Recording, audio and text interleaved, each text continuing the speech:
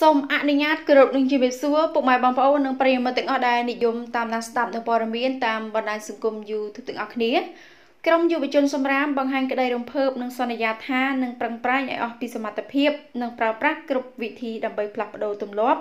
ប្រជាជនកម្ពុជាយើងឲ្យក្លាយជាប្រទេសគំរូក្នុងពិភពលោកប្រិយមិត្តជាច្រើនពិតជាបានស្គាល់ហើយពីវត្តមានយុវជនសម្រាមដែលក្រុមយុវជននេះបានធ្វើការសម្អាតប្រឡាយបឹងត្របែក និងទីតាមកន្លែងនានាដែលពួកគាត់បានទៅប្រមូលសម្រាមដើម្បីធ្វើឲ្យសោភ័ណភាពទីក្រុងកាន់តែស្រស់ស្អាត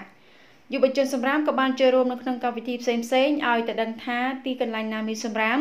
គឺពួកគាត់បានទៅធ្វើការសម្អាតដោយឡែកនៅក្នុងកេរនី Facebook របស់យុវជនសម្រាមបានរៀបរាប់ទាំងអារម្មណ៍រំភើបថាសម្ដេចអគ្គមហាសេនាបតីតេជោជាទីគោរពដ៏ខ្ពង់ខ្ពស់ពីក្រមយុវជនសម្រាម ក្រុមយើងខ្ញុំពិតជារីករាយយ៉ាងខ្លាំងក្រោយពីបានដឹងដំណឹងថាមានការផ្លាស់ប្ដូរកំណែតម្រង់ក្នុងការប្រមូលសម្រាមក្នុងរាជធានីភ្នំពេញខ្ញុំបាទសានតារាវិទ្យជាប្រធានក្រុមយុវជនសម្រាមដែលធ្វើការសម្អាតនៅប្រឡាយបឹងត្របែកព្រមទាំងទីសាធារណៈនានាប្រើរយៈពេលអស់ជាង7ខែមកនេះត្រូវបានមហាជនទទួលស្គាល់ថា ជាយុវជនមានឆន្ទៈនិងបង្កើតបានមនុស្សដែលមានឆន្ទៈមួយក្រុមធ្វើការលើការប្រមូលសម្រាមស្រឡាញ់បរិស្ថានស្រឡាញ់ប្រទេសជាតិ មុខមាត់រាជធានីនឹងបានកិត្តគូលើសុខុមាលភាពប្រជាជននិងវិស័យទេសចរ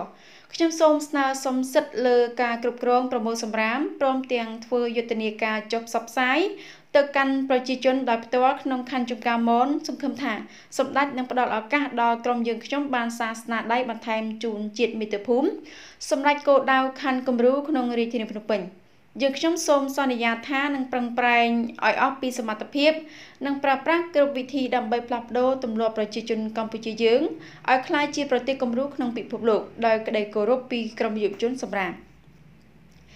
យ៉ាងណាមិញក៏មានបងប្អូនជាច្រើនបានបញ្ចេញមតិថាសូមជូនពរឲ្យទទួលបានជោគជ័យហៀ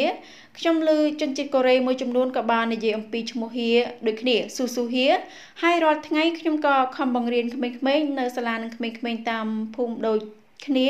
អំពីការចោលសម្រាមនិងការចាស់នឹងមានបងប្អូនខ្លះក៏មាន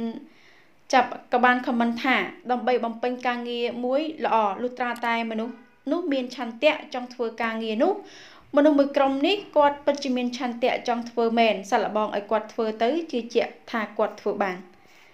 ចានេះគឺជាអត្តបទព័ត៌មានមួយដែលតាក់ទងទៅនឹងក្រមយុវជនសម្រាមបង្ហាញក្តីរំភើបនិងសន្យាថានឹងប្រឹងប្រែងឲ្យអស់ពីសមត្ថភាពនិងប្រើប្រាស់គ្រប់វិធីដើម្បីផ្លាស់ប្ដូរទម្លាប់ប្រជាជនកម្ពុជាយើងឲ្យក្លាយជាប្រទេសគំរូក្នុងពិភពលោកចា៎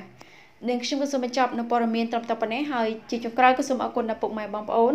និងប្រិយមិត្តទាំងអស់ដែលតែតាមដានស្ដាប់នៅព័ត៌មាននិងវីដេអូរបស់នាងខ្ញុំហើយសូមកុំភ្លេចជួយ Subscribe និង Share Channel របស់នាងខ្ញុំដើម្បីចាទទួលបានព័ត៌មានថ្មីៗជាបន្តទៀតផងដែរនៅពេលនេះនាងខ្ញុំសូមអរគុណសូមគោរពលា